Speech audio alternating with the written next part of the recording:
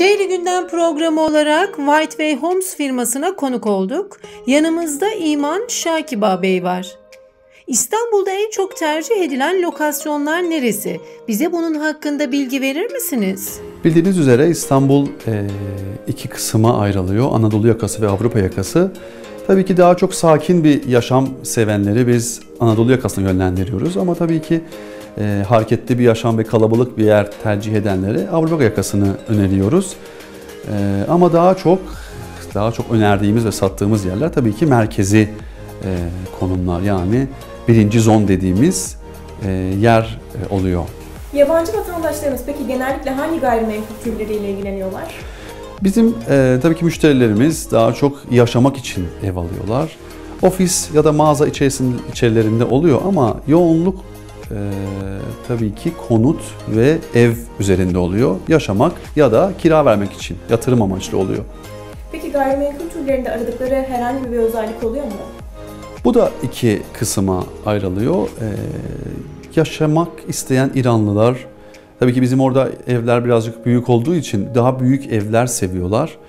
Ee, ama tabii e, yatırım yapanlar da daha küçük evler e, tercih ediyorlar. Daha merkezi olması daha Doğrudur. önemli oluyor. Evet, Alışveriş evet. merkezlerinden. İyi alışveriş merkezlerine yakın olması çok önemli bizler için. AVM'ye yakın olması ve e, en önemlisi ulaşımı rahat olması.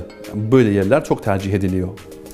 Yabancı vatandaşlarımızın bir tapu süreci oluyor. Siz bunlarla da ilgileniyorsunuz. Bu süreçten biraz bahsedebilir miyiz? Tabii biz e, müşteriyi yani müşteriyle iletişime geçtikten sonra A'dan Z'ye biz hizmet veriyoruz. Öncelikle müşterimizi havalimanından alıyoruz.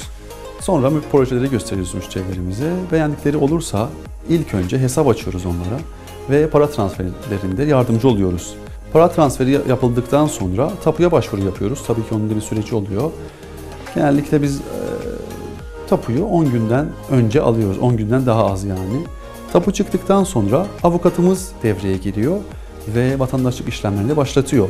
Bu süreçte yaklaşık yani e, bu süreç başladığı zamandan itibaren vatandaşlığı almaya kadar yaklaşık 3 aylık bir süre oluyor. Adım adım her aşamalarında siz Biz yanında yan- yanlarındayız tabii. Hatta e, vatandaşlıkları çıktıktan sonra bile kira işlemlerini, iç dekorasyonunu, iç mimariklerini de yine biz yapıyoruz. Yani arkalarını dönüp rahatça size emanet edebiliyor. Doğrudur, evet tabii. İstanbul'un birçok yerinde büyük projeleriniz var. Bize bu projelerden biraz bahseder misiniz? Her isteğe uygun müşteri memnuniyeti sağlayabiliyoruz.